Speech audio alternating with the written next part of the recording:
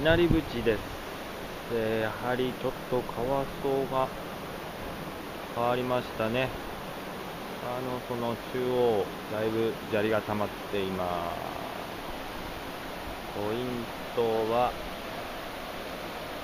この大石の裏のよれ今ちょっと跳ねたかな。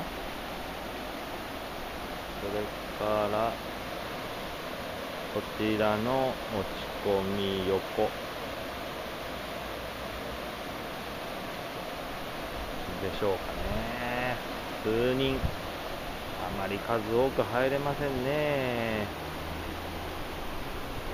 これにしても綺麗な水でございます。はあやっぱり綺麗だ。